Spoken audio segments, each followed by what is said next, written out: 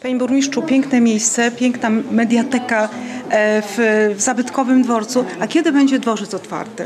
Będziemy się starali jak najszybciej, natomiast no, prace idą w tym momencie już tak na końcowym etapie. Niemniej jednak muszą być wszystkie odbiory. E, przypuszczamy, że będzie to albo koniec sierpnia, albo początek września, ale tak jak mówię, no, trudno jest jednoznacznie podać datę, kiedy e, czasami ta data nie jest zależna od nas samych, a od mm, urzędów, które e, chociażby te odbiory wszystkie, które e, tutaj wymagają e, konkretnego i przebadania, ale też i, i, i, poświadczenia, że wszystko jest zgodne e, z, z, z tą technologią i z tymi pracami, które powinny być wykonane.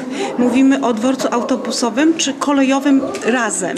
O tym otwarciu Nie, 1 mówimy, mówimy, o naszych mówimy o naszych pracach, czyli Aha. w tych, których dotyczą miasta Zakopane. Ja przypomnę, że wszystko to, co w tym momencie jest robione tutaj, e, oprócz tor, torów kolejowych i peronów, to jest właśnie robota miejska, czyli parkingi, y, dworzec autobusowy, budynki dworca, e, przed dworcem brama. To jest e, miejska inwestycja i o tych miejskich inwestycjach mówimy. Natomiast jeśli chodzi o samo PKP, to przypuszczam, przynajmniej tak nas informują, że mniej więcej gdzieś listopad, paź- październik, listopad. Ale to proszę pytać w PKP. Tego roku, tak? Mówimy Tak. o tym roku. Panie burmistrzu, Kuźnice, bo też jest, y, bo to jest miasto tam, tak?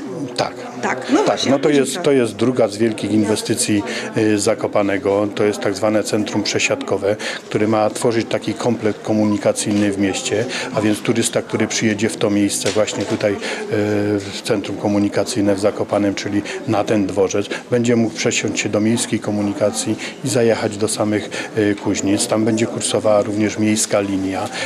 Zakupiliśmy ostatnio autobusy elektryczne. One właśnie mają typowo obsługiwać właśnie tą, y, tą linię do Kuźnich, a więc Zakopane oprócz tych dużych inwestycji jest y, w tym momencie eko. Do Zakopanego nie trzeba chyba y, zapraszać, mimo wszystko Zakopany się promuje nadal, tak? Tak, e, my cały czas do Zakopanego e, zapraszamy. Uważamy, że to jest jedyne miejsce, które można e, odpocząć tak e, kompleksowo, ale też i poczuć taką atmosferę rodzinną i dużej, e, dużą życzliwość z Zakopanem. Myślę, że każdy, kto tu przyjeżdża, może coś dla siebie znaleźć, ale też wyjechać zadowolony.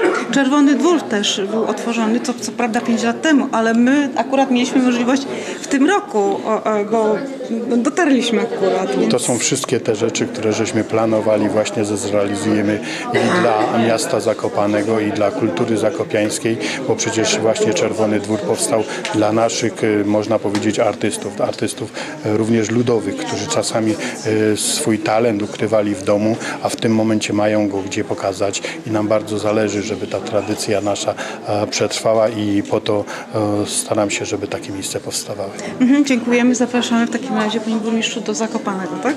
Zapraszamy oczywiście wszystkich do Zakopanego, najpiękniejszego miasta, e, które w tym momencie daje możliwość wypoczynku nie tylko nam, tutaj góralom, ale przede wszystkim turystom z Polski, z całego świata. Dziękujemy bardzo. Dziękuję.